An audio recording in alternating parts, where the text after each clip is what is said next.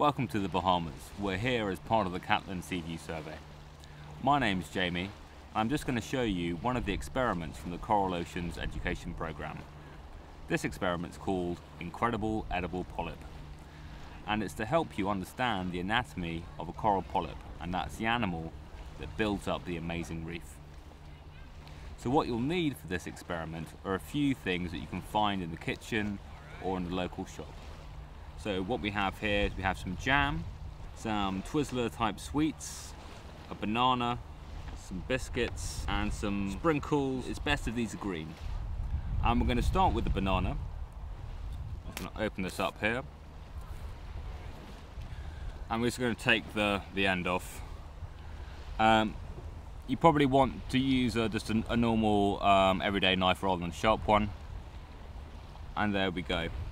So this section of banana is going to form the body of our, of our polyp. So the first thing we're going to do is going to take a toothpick and in the top here we're just going to make a little hole and that is the coral polyp's mouth. Now polyps are related to jellyfish and sea anemones. They're a type of animal called an and they're slightly different from, from jellyfish. They don't float around in the sea, they stick to the bottom of the ocean. And we're just going to use a biscuit now to represent the bottom of the ocean. So this is the substrate and that's the science word that we use to describe the bottom of the ocean.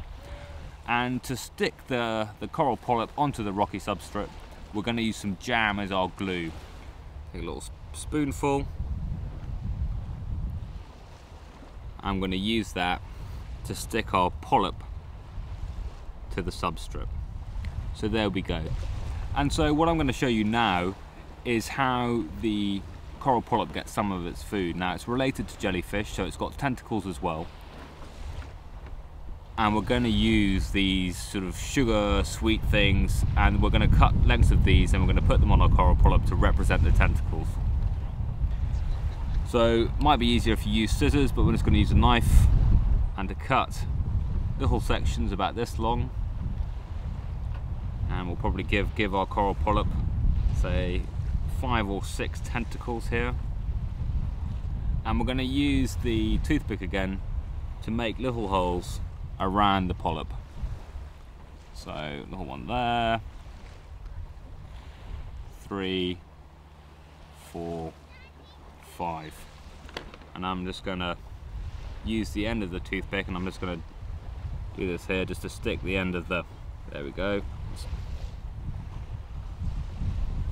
Any passing plankton, little animals, get trapped on these and then transported into the coral polyp's mouth. Now, one of the problems that coral polyps have is that they live in the tropical waters in places here like the Bahamas. And these waters are really beautiful and clear. And the problem with clear waters is they don't have many nutrients in them.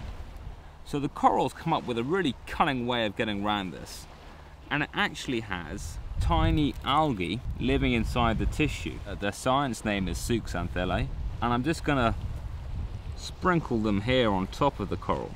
This algae actually provides between 70 and 90% of the energy the coral polyp gets. Now, if I just had a coral polyp like this, it would be quite easy for another animal, for a predator, to come and attack it. It's quite soft tissue here, the banana. And so what the coral does is it builds itself a structure and you can see those amazing big structures that they grow and it does this by taking a mineral calcium carbonate from the ocean and forming what's called a corallite, a structure around it. And the way we're going to show this is going to break up one of these biscuits, use some more jam and stick it around to demonstrate the corallite. Now this is almost like a, it's made its own sort of calcium carbonate cup to live in. Get the tentacles out of the way here.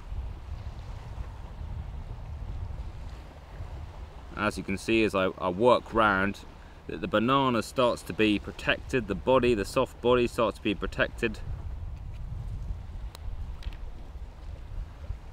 So I'll build this up. There we go. So that's how you make uh, your incredible edible polyp. You might want to make quite a few with your friends or as a class so you can put them all together uh, to form a reef. And uh, it's almost good enough to eat, so I'm just gonna have a bite. Mm. It's not too bad.